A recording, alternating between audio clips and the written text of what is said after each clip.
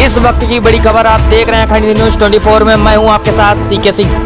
कानपुर नगर में घोषित weekend lockdown में कहीं दिखी मानवता की तस्वीर तो कहीं दिखे जिम्मेदार नदारत रात खबर कवरेज के लिए हमारे संवाददाता द्वारा जब ग्राउंड रिपोर्टिंग की जा रही थी तो एक बहुत ही इंसानियत भरी तस्वीर सामने आई। जहाँ गोविंद नगर के चौराहे पर रात के अंधेरे में चुपचाप अकेले खड़ा एक व्यक्ति रास्ते पर रिक्शा चालकों एवं फुटपाथ पर सोने वाले लोगों को भोजन की निशुल्क व्यवस्था करा रहा था, देखें ये तस्वीर। समय हम हैं गोविंद नगर चौराहे पर जहाँ एक और लोग लॉकडाउन में लोगों ने दुकानें बंद कर रखी, आवाजाही, यातायात व्यवस्थाएँ कम। वहीं कुछ समाज में ऐसे भी लोग हैं जो लोग समाज की इन समस्याओं को समझते हुए स्वयं घर से खाना बनाकर लाकर जो रास्ते पे गरीब लोग जो रहते हैं रिक्शा चालक हैं और फुटपाथ पर रहकर जो ज़िंदगी गुजार उनके खाने पीने की व्यवस्था करें इसी क्रम में एक व्यक्ति हमको गोविंद नगर के चौराहे पर हमको मिला। आइए करते हैं तो जिससे खास बातचीत कितने लोगों के भोजन की व्यवस्था आप कर रहे हैं? सौ पचास लोग। सौ पचास लोग। तो जैसा कि गोविंद नगर चौराहे पर ये संजीव जी मिले जो कि लगभग सौ लोगों के खाने पीने की व्यवस्था यहाँ पर इन्होंने मोर्चा संभाला हुआ है। तो एक ये बहुत बड़ी मानवता की एक मिसाल निकल कर हमारे शहर के अंदर से आ रही है। कानपुर में ऐसे लोग भी हैं, जहाँ कुछ ऐसे लोग हैं जिन्होंने अवसर बना रखा है कि हम जो ब्लैक में दवाइयों का कारोबार कर रहे हैं, ऑक्सीजन की किल्लत है डंप कर रहे हैं, दवाइयाँ डंप कर वहीं दूसरे तरफ़ ऐसे भी चेहरे हमारे शहर में हैं जो लोगों की मदद करने के लिए बिना किसी शोर के चुपचाप अपने तरीके से लोगों की मदद कर रहे हैं। वहीं दूसरी ओर कानपुर नगर के रेलवे स्टेशन पर अव्यवस्थाओं का भंडार दिखा, जहाँ एक और जिला प्रशासन सक्रिय दिखा कि वहाँ से आने वाले यात्रियों में लोगों को घर आने जाने में दिक्कत ना हो तो सेंट्रल स्टेशन से लोगों को अपने अपने घर पहुँचाने के लिए जिला प्रशासन द्वारा सिटी बसों का संचालन 24 घंटे सेंट्रल स्टेशन से किया जा रहा। वहीं बताते चले कि लौट रहे पुलिसकर्मियों द्वारा लगातार कोरोना गाइडलाइन एवं कोविड नाइन्टीन नियमों का उल्लंघन करते साफ़ देखा जा सकता है। और तो और लोग फुटपाथ पर लेटने को मजबूर। रेलवे का इंक्वायरी सिस्टम भी कोविड 19 के नाम पर सिर्फ़ और सिर्फ़ खाना पूर्ति कर देखने को मिल रही। वहीं दूसरी ओर जो व्यवस्था यात्रियों को मुफ़्त मिलनी चाहिए, उसके लिए प्राइवेट कंपनियाँ बैग सैनिटाइजेशन का कैंप लगाकर व्यक्तियों और यात्रियों से प्रति बैग दस रुपए के हिसाब से चार्ज भी वसूल कर रही हैं। यहाँ बैग सैनिटाइजेशन बहुत से लोग हैं जो कि बगैर बैग से सैनिटाइज किए भी लोग जा रहे हैं। ये सारी चीज़ें बाकी बहुत सारी सुविधाएँ चली यहाँ पर उपलब्ध है, जैसे कि रात के समय जो कि लॉकडाउन की स्थितियाँ बनी हुई हैं उत्तर प्रदेश में वीकेंड और रात में लोग जो आ रहे हैं, उनको जाने की समस्या होंगी। इसलिए उत्तर प्रदेश सरकार एवं कानून प्रशासन की ओर से यहाँ पर सिटी बसेस की व्यवस्थाएँ भी की गई हैं। ये सारी चीज़ें हैं।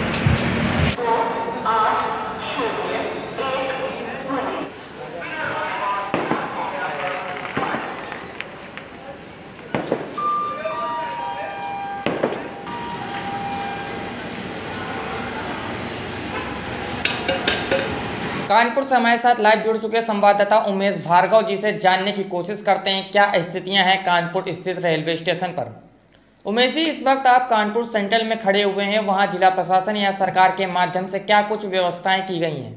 आपको बताना चाहूँगा कि जिला प्रशासन की तरफ़ से यहाँ पर रात में सिटी बसेस की व्यवस्थाएँ कराई गई हैं क्योंकि स्वघोषित लॉकडाउन है वीकेंड लोगों को आने जाने में समस्या हो रही है तो जिला प्रशासन की ओर से सिटी बसेस की अच्छा। व्यवस्थाएँ भी कराई गई हैं। कानपुर सेंटर में यात्रियों की सुरक्षा के लिए कोई सैनिटाइजेशन का कार्य कराया जा रहा है। या यात्रियों की सुरक्षा के लिए कुछ व्यापक इंतज़ाम किए गए हैं।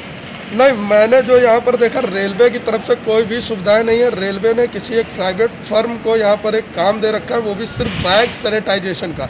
मैं कैमरामैन के माध्यम से कहूँगा मेरे पीछे दिखाने की कोशिश करें कि यहाँ पर जो प्राइवेट एक कोई फर्म है उसको दिया गया है बैग सैनिटाइजेशन जिसके दस रुपये चार्जेस भी पब्लिक से लिए जा रहे हैं।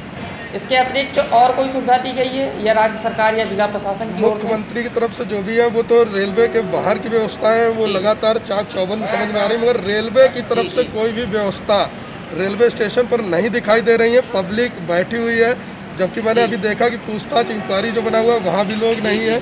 लोगों को बस जो डायरेक्शन के बोर्ड लगे हुए हैं उन पर लोग चले जा रहे हैं अनाउंसमेंट के भरोसे ही लोग हैं। टिकट की क्या सुविधा है टिकट ऑनलाइन सारी व्यवस्था है काउंटर सारे बंद है यहाँ पर।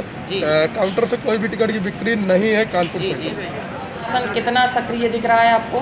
प्रशासन के नाम पर कहें तो मुझे अभी तक कोई भी फोर्स नहीं दिखा। मैंने कई जीने यहाँ के चढ़े उतरे जो काउंट बने हुए हैं। वहाँ पर मुझे कहीं भी रेलवे का कोई भी पुलिस बल या जीआरपी। कोई भी जवान मुझे नहीं दिखाई दी सेंट्रल से बाहर निकलकर देखा जाए तो वहाँ जिला प्रशासन कितना मुस्तैद है? हाँ हम जब इस स्टेशन से बाहर निकलते हैं तो बाहर जो लोकल थाना है, उसका फोर्स चौराहे पर बिल्कुल मुस्तैद है। लोकल का पुलिस, यहाँ पुलिस बल बहुत मुस्तैद है। लोगों से कोरोना की गाइडलाइंस पूरी करने की अपील की जा रही है और लोगों को, यात्रियों को कोई असुविधा ना हो, इसलिए प्रशासन लगातार बाहर सिटी बसेज और और भी साधनों पर नज़र रखे हुए लगातार बड़ी खबरों के लिए देखते रहें एएचएन न्यूज़ बात देश की, बात देश हित की। इस वक्त की बड़ी खबर आ रही है। कानपुर से स्वास्थ्य विभाग की बहुत बड़ी लापरवाही आई सामने, जहाँ संपूर्ण देश के साथ साथ संपूर्ण कानपुर नगर कोविड 19 महामारी की चपेट में है। तो दूसरी ओर मेडिकल कॉलेज, हेलेट अस्पताल लोगों की जान के साथ कर रहा खिलवाड़।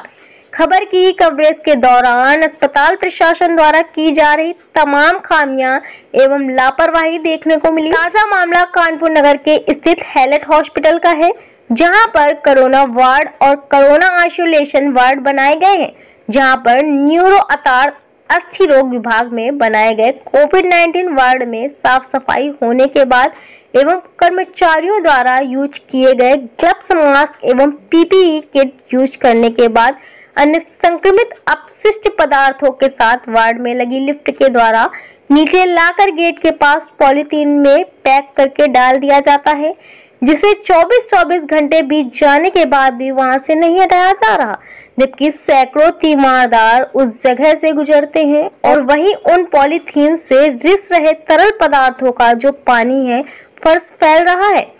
जिसके ऊपर से लोग गुजर रहे, जो कि संक्रमण को हॉस्पिटल से समाज के बीच और अपने घर तक लेकर जाएँगे।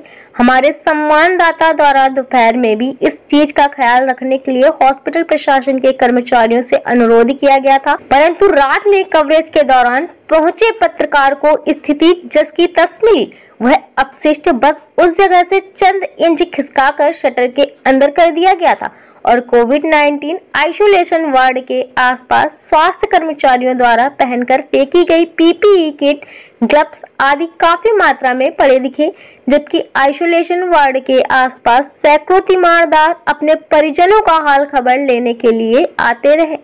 वहीं दूसरी ओर आइसोलेशन वार्ड एवं हेलट में रोज़ाना सैकड़ों लोग तीमारदार आ रहे हैं, जिनके सुरक्षा एवं सैनिटाइजेशन की व्यवस्था, सैनिटाइजेशन टनल के द्वारा करने की व्यवस्था पिछले वर्ष जब कोविड 19 लहर देश में आई थी, तभी की गई थी, परंतु एक वर्ष भी नहीं बीता, सैनिटाइजेशन टनल कबाड़ के रूप में आइसोलेशन वार्ड के सामने पड़ा हुआ है।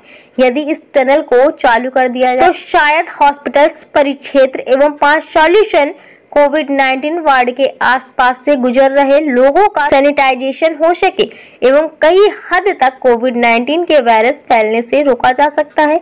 कानपुर से कैमरामैन ओम प्रकाश के साथ सम्मानदाता उमेश भार्गव की खास रिपोर्ट। जैसा कि आपको मालूम है, पूरा कानपुर शहर कोविड के जो प्रकोप है, उससे त्राइमाम मचा हुआ है। एक और जहाँ ऑक्सीजन की किल्लत है, वहीं दूसरी ओर लगातार खबरें आ रही हैं। लगातार खबरें आ रही हैं कि जो यहाँ की सुविधाएँ हैं, उन पर भी सवाल उठाए जा रहे हैं।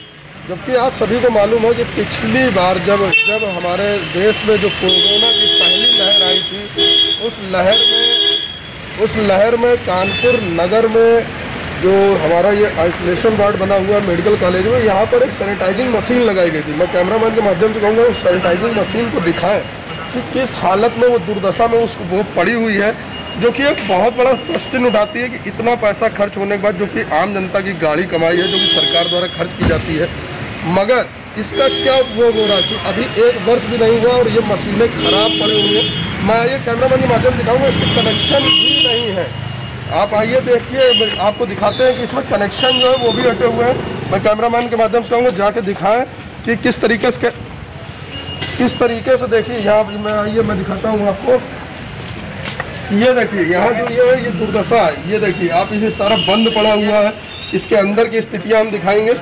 ये देखिए सब पूरा बंद पड़ा हुआ इसमें काफ़ी दिनों से कोई चहलकदमी नहीं हुई। मतलब कि कई काफ़ी दिनों से ये बंद पड़ा हुआ है बिल्कुल जो कि एक बहुत बड़ा बहुत बड़ा प्रश्न चिन्ह उठाता है कानपुर प्रशासन के ऊपर की ये सैनिटाइजिंग मशीन है जो कि इसलिए यहाँ लगाई गई थी कि जो भी लोग या तीमरदार यहाँ आ रहे हैं उनका सैनिटाइजेशन होता रहे और कोरोना का जो प्रकोप है उसको रोका जा सके। कानपुर से कैमरा पर्सन ओम प्रकाश के साथ उमेश भार्गव।